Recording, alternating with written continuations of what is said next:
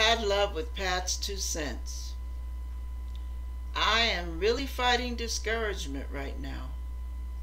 I don't know if something's happening on the news because I don't have TV service. But I'm wondering, I want you guys to let me know if the channel is starting to lose your interest. Because the views have dropped drastically.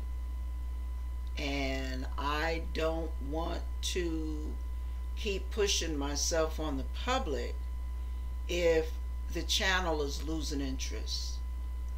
And um, so I thought Bible study would do great. You know, some of the material in Second Timothy is so rich, but it doesn't seem like many are that interested in that kind of subject.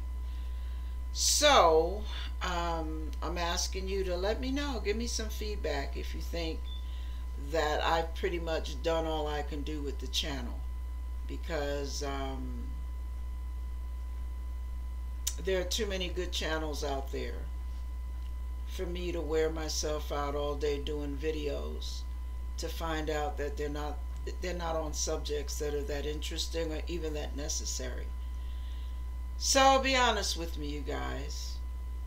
I just have to ask, you know, is this is it time to close, to pull down the curtain and call it a day and just let my my videos run on their own steam until their steam runs out or what?